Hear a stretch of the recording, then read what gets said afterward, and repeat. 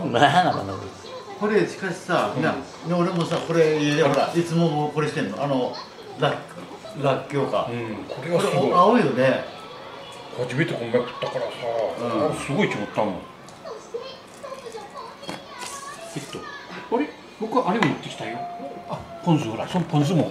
好みで、好みでほらおっちゃん。ねこの、何してそんな気が利くの、うん、こうい。ううっちゃんに食べさそうかと思ってよ。食べるものに関して気が利きますね、びっちゃん、このみかんね。このみかんはうちのうんこれは温州みかんだけどうちの学校の庭になってんだよ。